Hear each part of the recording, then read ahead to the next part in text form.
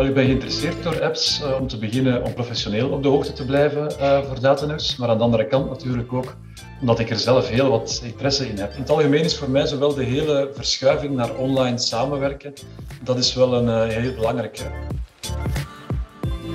Ja, de app die wij eigenlijk nu gebruiken al, is um, de Google Sheet.